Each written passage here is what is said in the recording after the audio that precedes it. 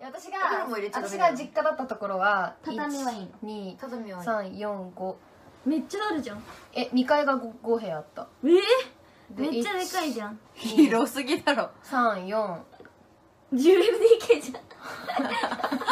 8LDK 超えちゃう感 8LDK の人いる？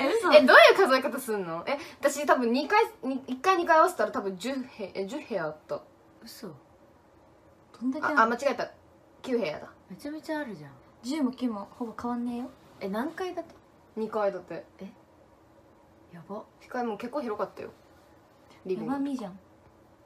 お手伝いさんは何人とか。うん。でもトイレは2個だった。岩手 7LDK いいなぁ。いいなぁ。いいなぁ。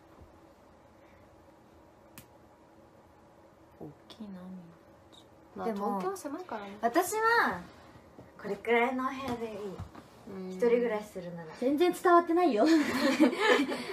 ホテルの部屋のこと言ってるのか何のことか分かんないけど。なんかワンルームでいい。絶対嫌だってなるよ狭いってなるよ。なんでずっと過ごすんだよなんで言えるの？そういうことか。なんでいいなんで決めつけるのよ。ねえ喧嘩はやめて。あもう喧嘩。なんで？喧嘩やめて。私は別に喧嘩しようとしてないお姉ちゃんの言うこと聞いて。あもううっとうしいな。お姉ちゃん出てってよ。ねえ次女？三女？はん姉ちゃん出てってももう次女落ち着きなさい。う出てってもう。言い方よ。いや私は長女って言えばいいもう 三女がムカつく三女次女仲直りしなさい。お姉ち次ゃん。女うぜえ黙ってお姉ちゃん。調子なんじゃないもうよ。ほんとママに言うよ。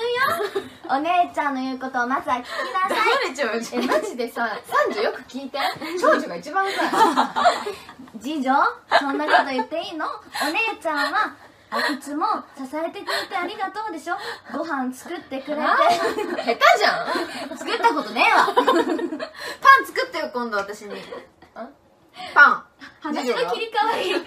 フライパンのうん。で作ったパン持ってきて。いいよいいよ。本当に？いいよ。言ったよ